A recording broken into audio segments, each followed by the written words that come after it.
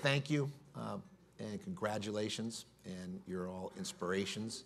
Um, I think we all come away from watching uh, the videos inspired, but then to actually hear you up here, you can sense the authenticity, the fact that you care, and then I think we all go home tonight as a result elevated, since that's been one of the words that we've used. So let's give these coaches one more round of applause.